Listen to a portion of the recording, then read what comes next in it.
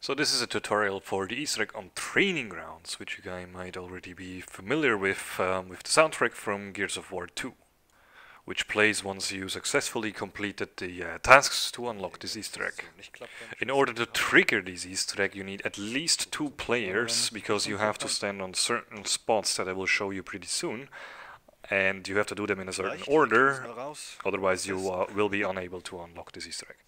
So what you want to do first is as soon as the game starts, you go to this screen right here where I'm going to, this one, and you want the other person to go all the way to the other side of the other spawn and shoot a specific screen that I will be showing you right after.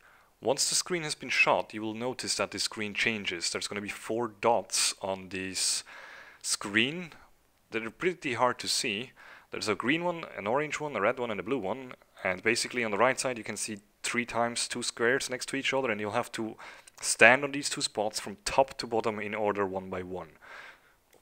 And here I'm going to quickly show you the screen I was talking before.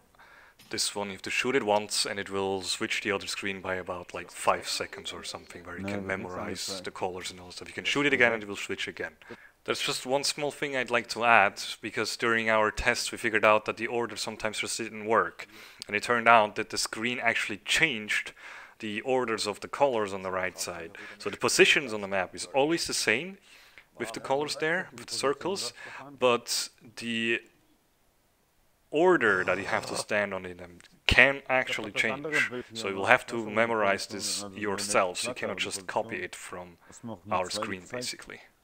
So in our case we have to start with red and orange, so I'm gonna go to the red spot and Mojo is going to go on the orange spot. I'm gonna show you the red spot and it'll keep the map open so you can see where he actually has to stand on the orange spot. So the red spot is right here. Oh.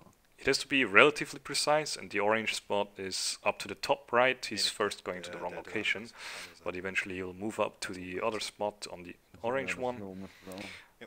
So there you go. He's going right there.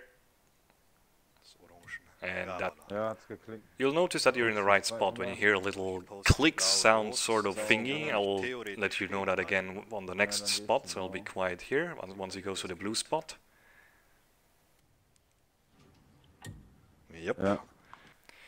So you could have just heard this little tuk sound, so that's basically how you know that you've stood on the right spot. And now we're just going to the last spot, so I'm heading over to the green one, while he's going over again to the orange one, and then you will see boom, and that's going to be the third one, and then you can hear a little track, and then that's basically it.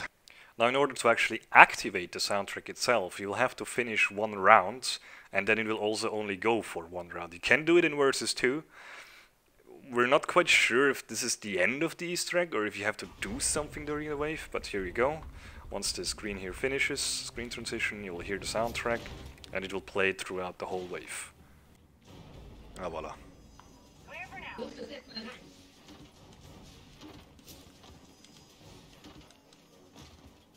Haben wir was anderes. Rum. And that's all you need to know. So possibly it goes any further, we don't know yet, or we just generally don't know unless some developer of this Easter egg is going to confirm that it's done. But well, I hope you can enjoy, even though in our opinion it's not that interesting. But uh, yeah, that's it.